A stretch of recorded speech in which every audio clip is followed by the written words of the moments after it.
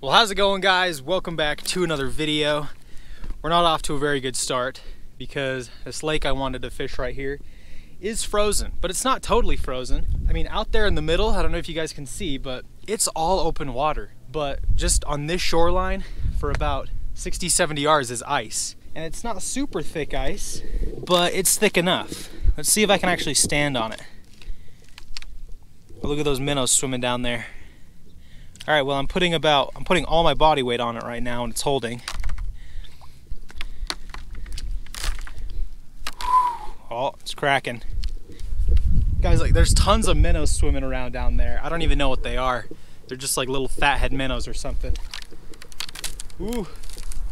Oh, look at that, look at that, look at that. Look at that. Can you guys see that little minnow right there? Oh, look at that. How'd he get out there? What is that? Hey, hey, come over here, buddy. Come over here, buddy. What are you? What in the world? What in the world? Huh, what is that, guys? It looks just like some kind of shiner or something. Just some kind of generic minnow chub thing. There's tons of them down there, all swimming in between these rocks. We'll let this little dude go. He'd probably make for some pretty good live bait. Oh, get down there, buddy.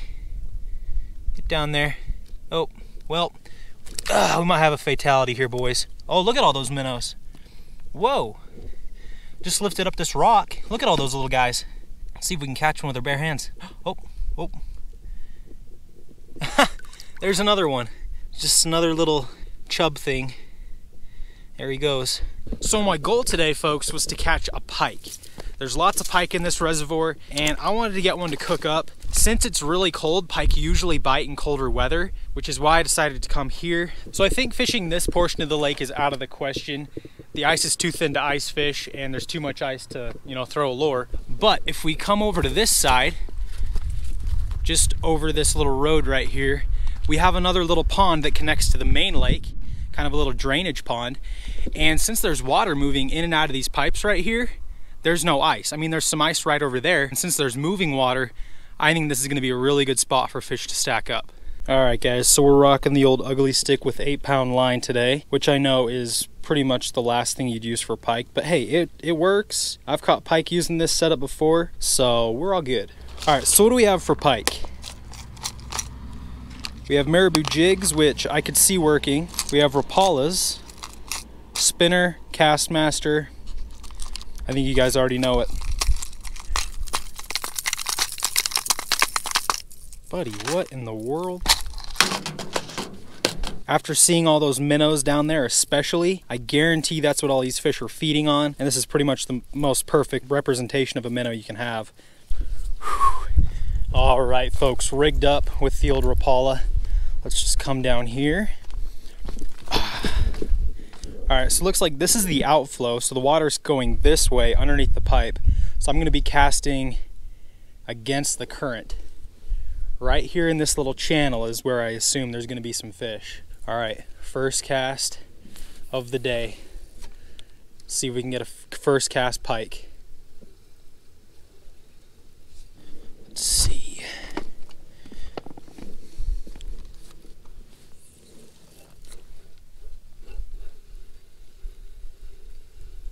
Little update for you guys been fishing for about 30 minutes. But what I'm kind of figuring out is right here by this pipe, it's actually quite a bit deeper than the rest of this pond. It's probably like three feet just right here and everywhere else is like not even a foot. So I figure if I'm gonna catch a fish right here, it's gonna be right here by this little outflow because this is where it's the deep water. So I'm just casting right in front of this pipe and bringing it back as slowly as I can. Oh, got a stick. Well, it's something. Wrong species, wrong size, but we're getting somewhere. Whoa, what was that? What was that? Probably just a leaf, but that definitely felt fishy.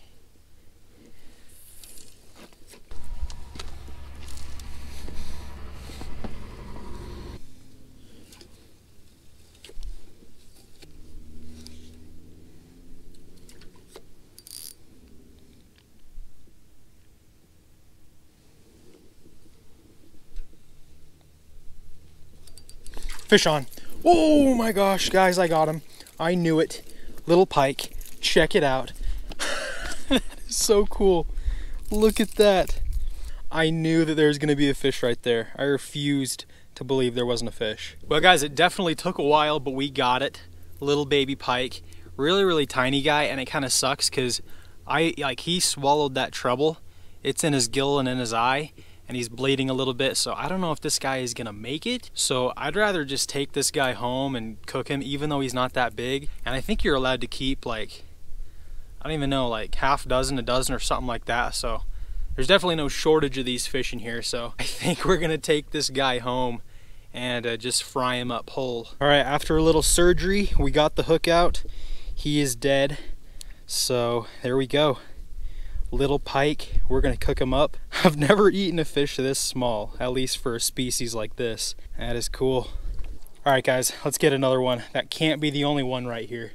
I knew if I just kept dragging this Rapala right past this little deep spot right there, I'd get bit.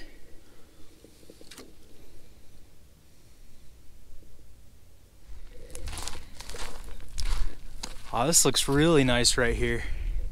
So I found this little beachy area right here on the other side of the lake. There's no ice, so that's good. And I figured I was just gonna take that pike home to cook it, but it's a beautiful night. There's no wind at all. So we just gotta cook right here on the shore. And while we're doing that, we're gonna toss out a fishing line. I've got right here a little egg sinker with a swivel, with a little bit of leader, down to a big glob of worms. I don't want them to swallow it, so it's a pretty big hook. I don't think there's many fish down there big enough to swallow this whole hook, but you never know.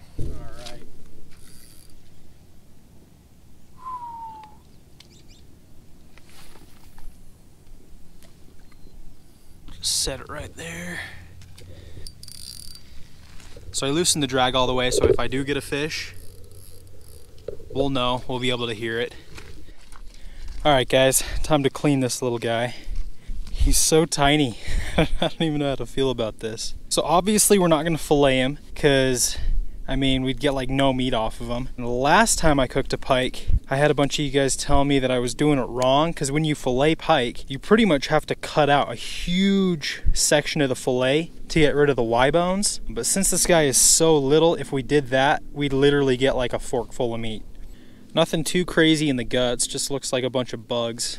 So now I'm just de-sliming and descaling him because pike are literally some of the slimiest fish you can ever have. And I'm going to try to get some of these scales off because we're going to try eating the skin. Look at all those scales. They just come right off.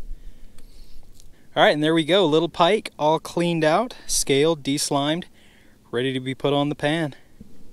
All right, guys, so I've found this big flat rock that we can cook on. Nice and stable. We have all our cooking stuff laid out. We have our pike. First thing we need to do is turn our burner on.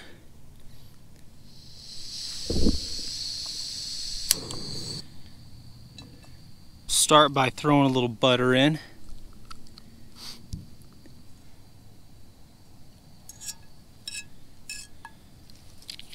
Alright, we'll start by throwing down a layer of some seasoned salt. Pike going in. And we also have some dill weed this looks like blades of grass, pretty much.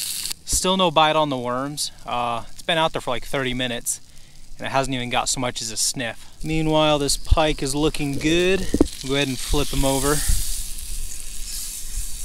Mmm. That honestly looks kind of appetizing. Look at that, nice golden brown. We're gonna season this side too.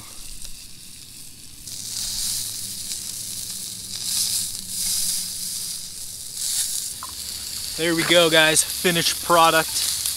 Doesn't look half bad. Would you serve it at a restaurant? No, but for a drainage pond pike, this doesn't look too bad. Smells pretty good, so. All right, so pike are extremely, extremely bony. That looks pretty good. Looks like we left some of those bones right there. This should be a boneless piece. All right, baby pike.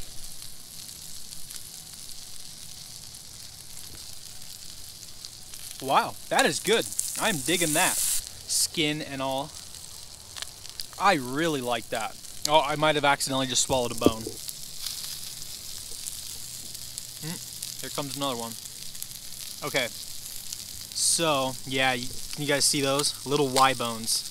So with a pike this small, I, I mean, I don't think it's too big a deal because you don't really notice the bones, but they can kind of be a hassle. Other than that, if you can find a good boneless piece, like right there, I mean, I think this is boneless. We'll just have to chew slowly, but the flavor's really good. I have to say, I've eaten pike three times in my life, and all three times it's really good, but I think this is the best one. I don't know if I just cooked it the right way. I don't know if it's because he's young and tender, but gosh dang, that is some good fish right there. And I'm not just saying that. So this top portion, that's where all the Y bones are. This lower portion with the rib cage bones, you can just peel the meat right away from the rib cage and you should be good. But with this top, top meat right here, it looks boneless. There are a few Y bones hidden throughout there. So you just gotta be careful with chewing. Make sure you don't swallow a bone. Other than that, guys, really, really good. You can cook pike whole. You know, it's definitely not the best method. Ideally, you want to fillet them, and then there's a way where you can literally just cut out like a whole third of the fillet to get rid of those Y bones. But since this fish is so small, we weren't really able to do that. Still no bite on the worms. I'm watching very closely. I'm thinking it's just getting too late in the year for catfish especially. I think the catfish have kind of just slowed their metabolism down, not really active, but the pike should be out there. So there's the entire rib cage. So guys, if you ever catch a pike, definitely keep it and definitely cook it. Pike is probably one of my favorite fish. Behind trout and salmon, I would say pike is number three. Or maybe this one was just so good because it was so little. That That is the case with a lot of fish. The younger they are, the smaller the fish is, the better they taste. Because once a fish gets old, it just gets really fatty and it's not very good. This is probably one of the better ones I've had. And I don't know if it was because it's so small or what, but I like it. Alright guys, before we end the video, we're going to try to catch another fish. So we're back at that spot where we caught that other one.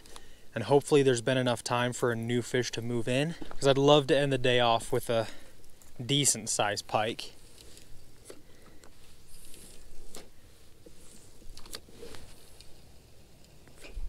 Well guys, that is to do it for today's video. Hope you enjoyed. We didn't end up catching another fish, but that's okay, because at least we got one today, and anytime I catch a pike, it's a good day. And he tasted absolutely delicious. If you guys haven't had pike, highly recommend it. It's actually a very, very good fish. Like I said, one of my favorites. But anyway, if you guys enjoyed this video, go down there, give it a thumbs up, and subscribe if you haven't already. I would really appreciate it. But other than that, thank you guys for watching, and I'll see you next time.